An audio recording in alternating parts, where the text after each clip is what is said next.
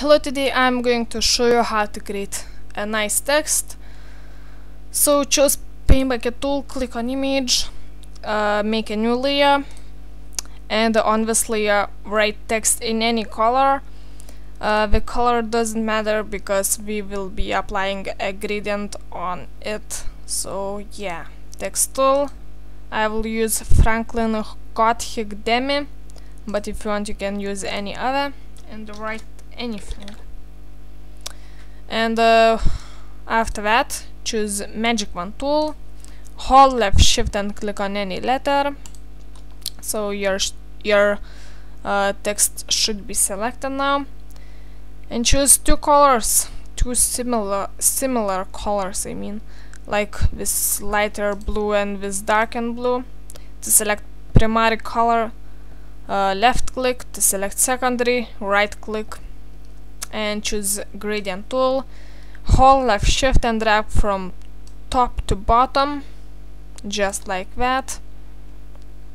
Uh, go to effects selection bevel select selection and on the first thing choose lighter color than your primary color and on the shadow color choose darken color uh, than your secondary color.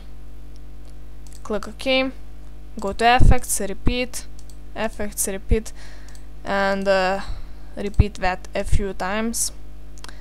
So once you have your text uh, with bevel thing, add a new layer, go to effects, render clouds, put something like this, like 100 and uh, 1 0.67 or something like this, and click OK go to this layer properties and change blending mode to multiply and of course change opacity.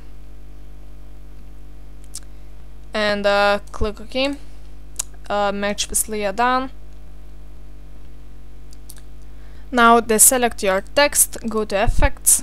Oh uh, if you have this problem uh, like I don't know pixelate thing so undo and invert your selection and delete and go to effects until layers and the click OK.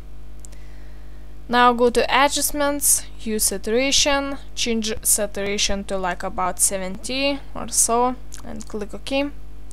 Duplicate that layer, uh, change this layer blending mode to color dodge and change opacity